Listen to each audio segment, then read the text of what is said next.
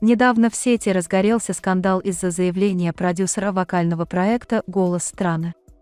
Он отметил, что роман Тины Король и Днабалана был специально придуман для того, чтобы поднять рейтинги шоу.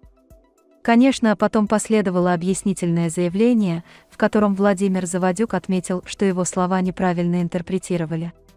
Сам Дан Балан не остался в стороне, посвятив пост обвинениям со стороны поклонников в обмане. Теперь же и Тина Король подключилась и посвятила сторис бурному обсуждению их отношения с Даном. Как сообщает Плиткар со ссылкой на сегодня, Король отметила, что флирт нельзя называть обманом. Это игра полутеней романтики. Чувство навязать нереально. Между нами была искренность, и это наша история. Что будет потом, это секрет Парадисе, прокомментировала король слухи, сопроводив свое заявление совместной с Баланом фотографией.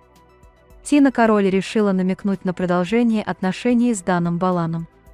Нужно напомнить, что на минувшей неделе в сети разгорелся скандал из-за резонансного заявления продюсера «Голос страны» Владимира Заводюка, который назвал роман «Король» и «Балана» синтетическим.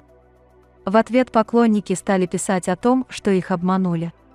Как отметил потом Заводюк, его заявление неправильно поняли, и между исполнителями действительно появилась химия, которую они решили показать зрителям.